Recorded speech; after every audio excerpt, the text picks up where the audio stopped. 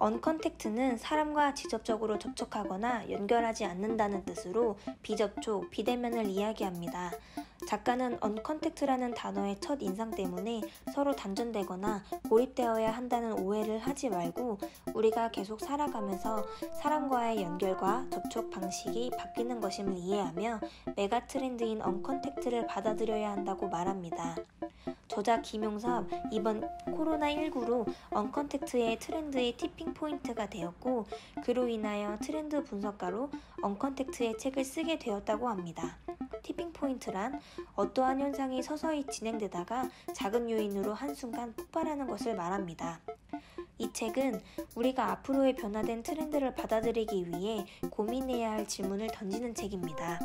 일상에서의 uncontact, 비즈니스에서의 uncontact, 공동체에서의 uncontact 세 개의 큰 카테고리를 나눠 그 속에 다양한 질문을 던지고 다양한 분야에서 일어날 수 있는 일을 예측해보고 의견을 나누며 공감하거나 준비해야 할 부분을 같이 찾아가며 독자가 완성하기를 바라고 있습니다. 여러 질문 중 uncontact가 어떻게 투명성을 높여줄까에 대한 부분을 정리해 보려고 합니다.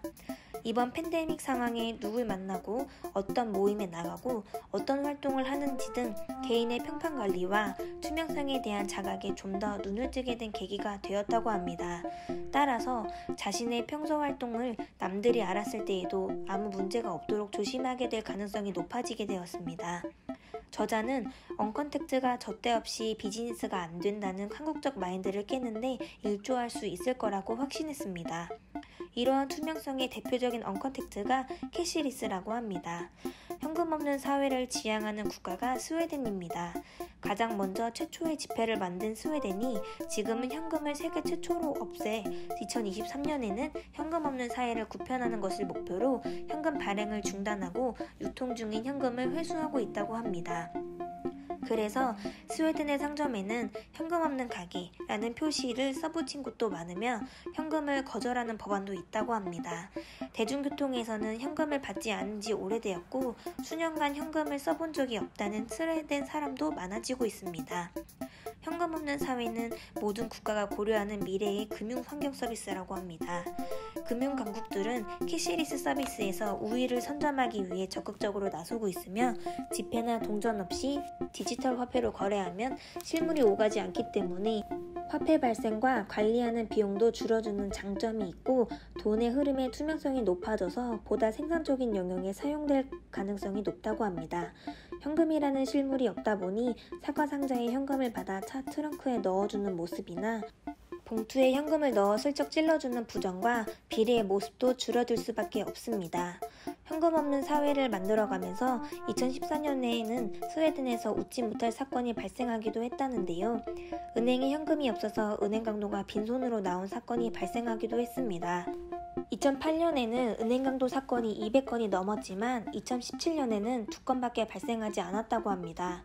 인도 나렌드라 모디 총리도 캐시리스를 지향하고 있는데 초기에 현금 거래 중단이 부작용이 있었지만 결과적으로 세수 확보도 늘고 관련 사업이 성장하는 효과를 보았다고 합니다.